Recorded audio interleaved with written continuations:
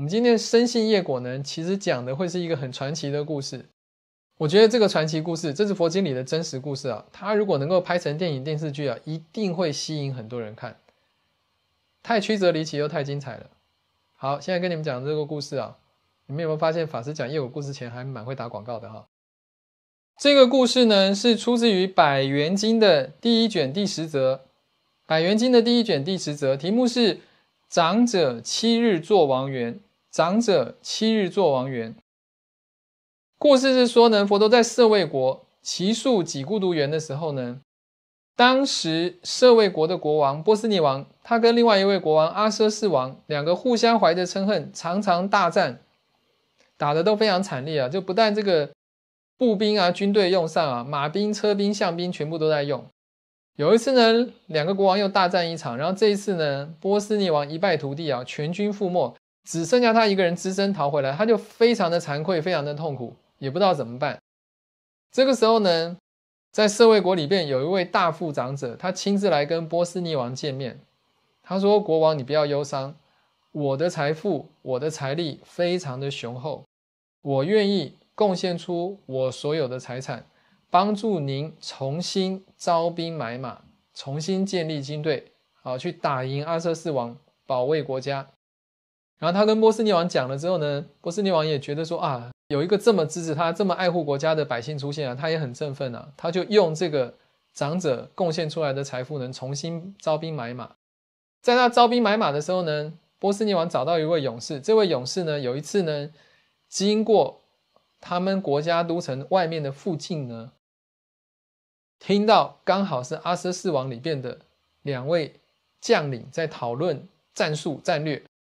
两位将领说：“我们下次打的时候呢。”我们要把最精锐的部队摆最前面，然后中等的部队摆中间，最弱的部队摆后面，希望一鼓作气在最前面就把他们打下来。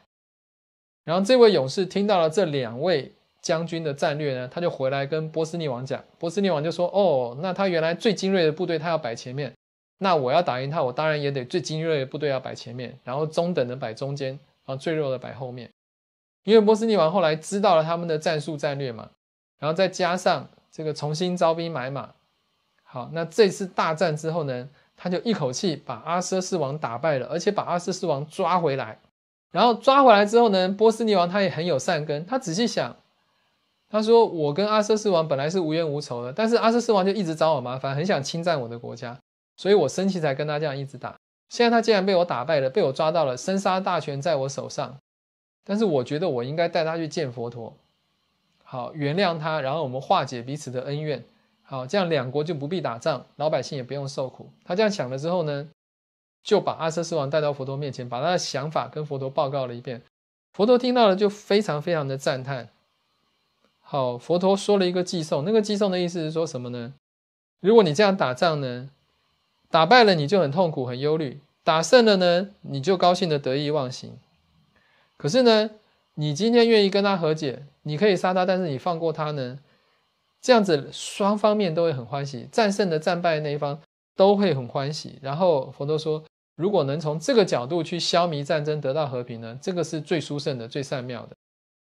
好，那波斯匿王听了佛陀的话，也很欢喜的跟阿瑟斯王和解啊，把阿瑟斯王放回去了。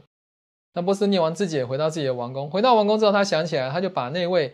当初倾尽家财支持他的这个富翁找过来，说：“长者啊，你这样子费尽家财的帮助我哈，你有什么心愿？我现在是国王，我一定帮你承办。”结果那位长者呢，他讲话也蛮有意思的。他跟波斯尼王讲：“如果大王能够宽恕我的不敬冒犯之罪，我才敢讲。”波斯尼王很高兴，跟他讲说：“你不会有什么不敬冒犯，你对我忠心耿耿，你尽量说你要干嘛。”那长者就说。如果大王愿意的话呢，请让我代理大王做七天的国王，我只要做七天就好了。这样，波斯尼王其实很爽快，波斯尼王很感谢这个人，很感恩这个人嘛，就觉得说好，那你说做七天，我就跟你做七天，一点问题都没有，就真的让这个人做国王，好做七天这样，昭告天下，让这个人代替波斯尼王做这个社会国的国王，做七天这样。可是呢，这个长者做了国王之后呢，你知道他做什么呢？他就用他国王的力量，下令全国的百姓，还有周围那些归附他的小国的国王，全部都来集合，干嘛呢？去见佛陀，皈依佛陀，供养佛陀，斋生，连续做了七天这样子的广大的供养。所以七天当中累积了无量无边的资粮嘛。然后呢，他就来到佛陀面前，五体投地，发了强猛的誓愿。这位做了七天国王的长者啊，他就说什么呢？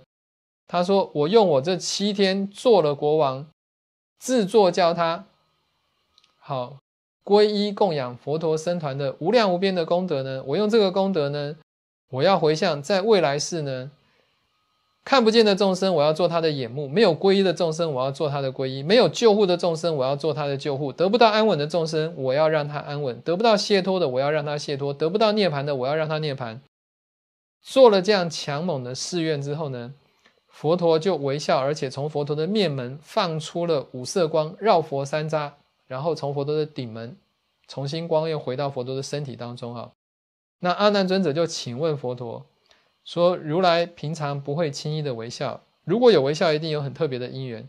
那请世尊开示这样的因缘。佛陀就说：“好啊，谛听谛听，善思念之，吾当为汝分别解说啊。你看到我眼前这位做了七天国王的大长者没有？”阿难说：“看见了。”佛陀说：“他因为累积了这样的资粮，加上他的誓愿呢，所以呢，在未来世过了三大阿僧祇劫，他可以成佛，佛号叫做最胜。”最殊胜的最胜哈，广度众生不可限量，所以我放光微笑。换句话讲，这位长者呢，用他做国王七日，带领全国百姓七日供养佛陀跟僧团的功德呢，然后得到佛陀的受记，三大阿僧祇劫之后，他就可以成佛，名号叫做最胜佛。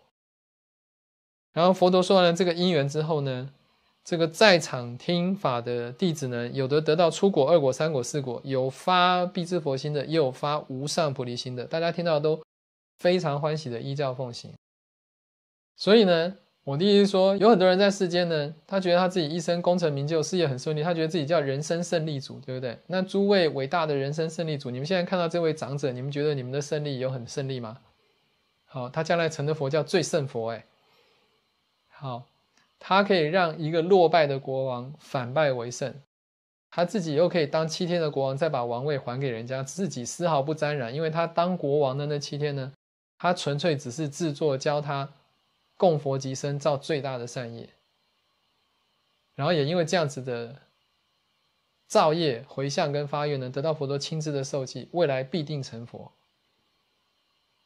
好像我们一般在世界你看不到这种人生胜利组哈。好，所以这个故事我就是觉得哦，非常的振奋人心。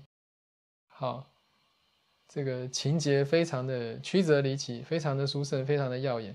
希望有一天真的能够拍成电影还是戏剧，好让这个所有想要做人生胜利组的人看一看真正的胜利组长什么样子。